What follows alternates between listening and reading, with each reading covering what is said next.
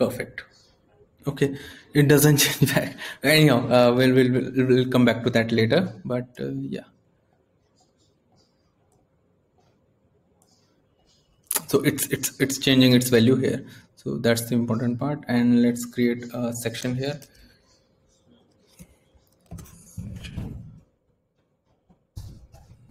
One. It has created one section here, and let's create another section as section number two it's creating another section perfect. So we just we just clicked on the create section while it was blank and it created a blank section here. So yeah we're going to remove from the database app data in the all section and this one should be deleted. Perfecto. Okay so let's come back here. And uh, so now we're going to add a task here. So for the task we're going to get a uh, checkbox so this one too it's so this is searching for task with the with the correct value and this one should be the current cell task name. Yeah it should do. And we are going to add two more things here. One is um, assigned to and another is due date so and even to add task we're going to add one more thing in bit, bit uh, below this thing is uh, add an input box here just below the task name and add a button here. So yeah. So we're going to say okay uh, enter task name this one should be create task. So we're going to start a workflow to create a task on click on this button. So we're saying okay create a new thing created as task and the task name should be input enter task names value. And we're going to capture two more things one is the pro uh, task project which should be the list views selected project. Second should be task section which should be the current cells section. And third one should be task workspace which is the current page workspace. So yeah we all set to done. Perfect. Design now. Now we're going to add two more things here uh, one is the uh, list of user so assigned to so we're going to have list of user who are part of this workspace and second would be to select a due date so what we're going to do is we're going to have a drop down to have the list of user inside this uh, workspace. And so we're going to have a dynamic choice choose the option select type of his user. We're going to uh, do a search for current page workspace users. And it should be the current options of user name yeah perfect. And second would be the date time picker. So we're just going to width and height should be 50 and let's give maybe hazards this I, I hate this when this happened.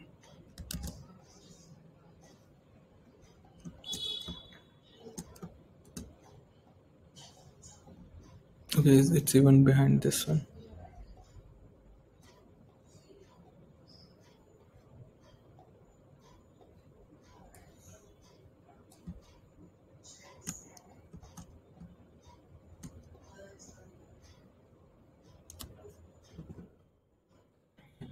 there should be uh, date and I'm going to auto bind it. Uh, we are also going to auto bind this to the task user.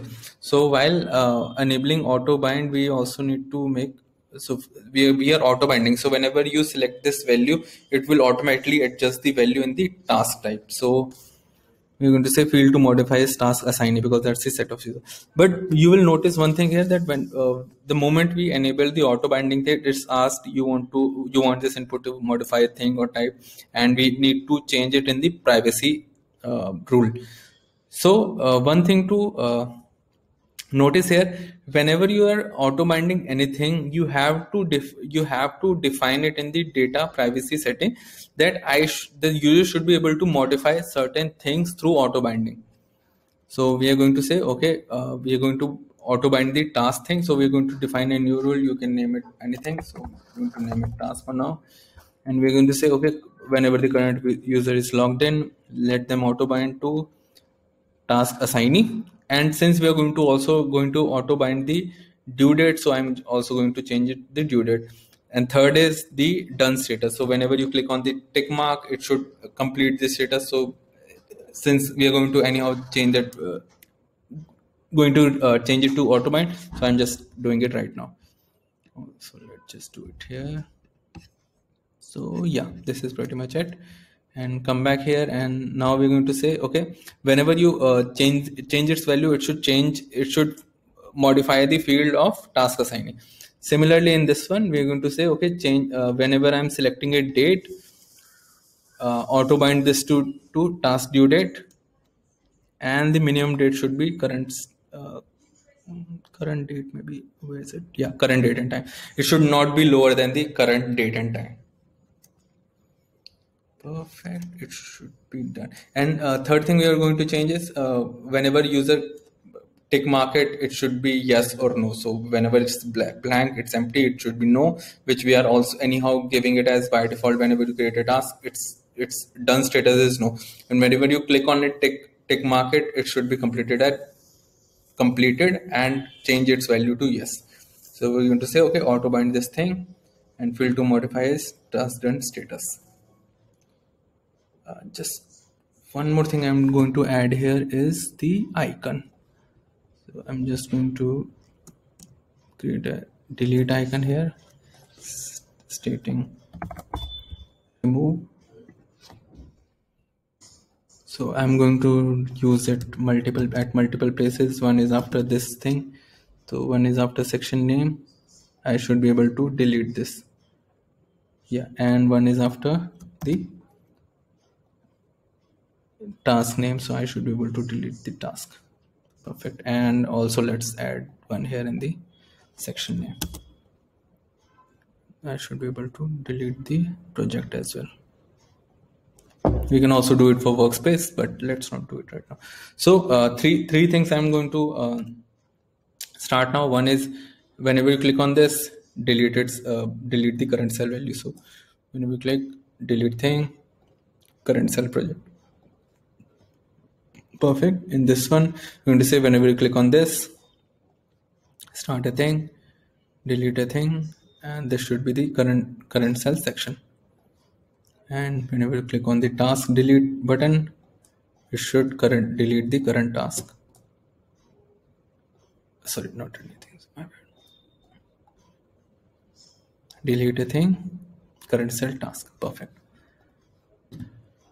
so yeah i guess this is pretty much it. We are we have like you know uh, we can create a section we can create a task and we can delete a task we can complete it complete the task we can assign it to it. Perfect. Let's just preview it. I'm going to remove it now. Let's just preview it.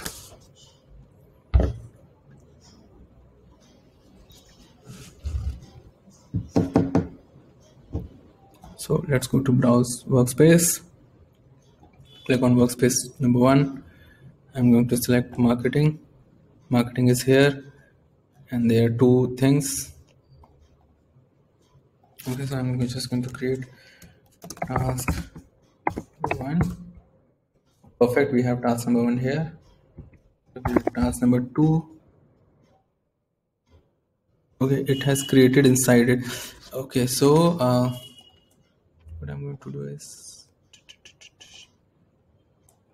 is a full list let's just preview it now it should show me the like you know complete list of instead of putting a scroll into that into that tiny area it's going to uh, it's going to stretch its height as the number of tasks adds up into it.